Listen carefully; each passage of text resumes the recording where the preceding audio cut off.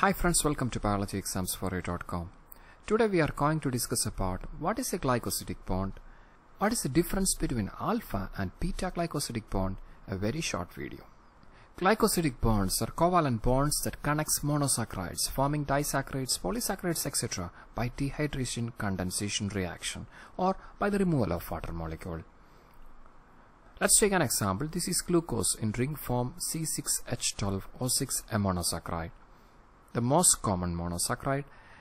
This is also glucose. Now we have two glucose, two monosaccharides.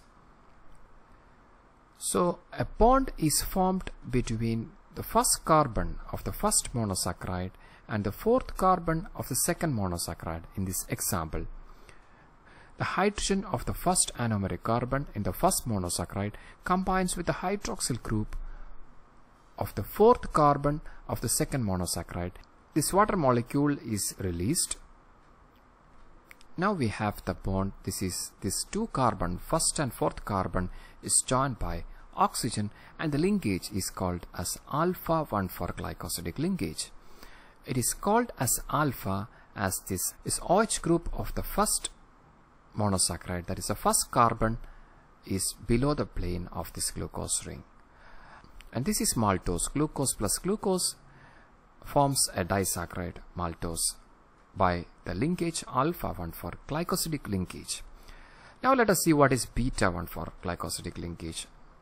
So this is D-galactose and this is D-glucose here you can see this OH group of the first anomeric carbon is above the plane of the glucose ring.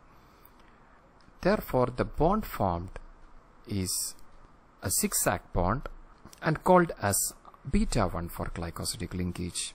In short, in alpha 1 4 glycosidic linkage, the OH group in the first anomeric carbon is below the plane, whereas in beta 1 4 glycosidic linkage, in beta linkages, the OH group in the first carbon anomeric carbon is above the plane of the glucose ring and that's the difference between alpha and beta glycosidic linkage.